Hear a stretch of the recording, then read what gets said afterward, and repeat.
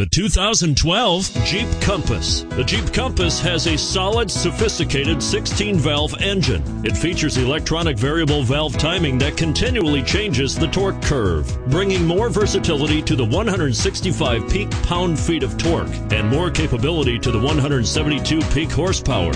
And it's priced below $30,000. Here are some of this vehicle's great options remote engine start, anti lock braking system, steering wheel audio controls, traction control, stability control, air conditioning, adjustable steering wheel, power steering, four wheel drive, keyless entry.